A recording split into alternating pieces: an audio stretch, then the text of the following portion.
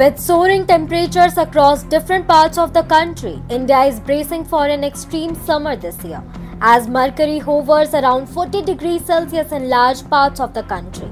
The India Meteorological Department IMD on Tuesday, April 18 predicted that heat wave conditions to continue over East India during the next 4 days and abate thereafter. Heat wave conditions have been prevailing in isolated pockets over Gangetic West Bengal for the last 7 days. Coastal Andhra Pradesh for the last 5 days, Bihar for the last 4 days, Punjab and Haryana for the past 2 days. The impact over increasing temperatures is being seen across the country in varied degrees.